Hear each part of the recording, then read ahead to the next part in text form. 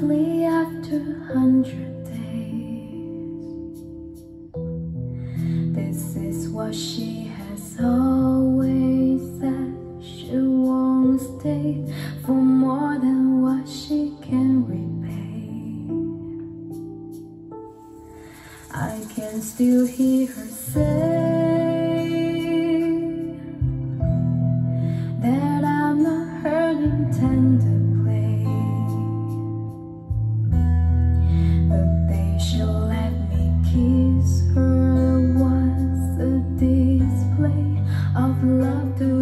Who she betrayed. How can I put someone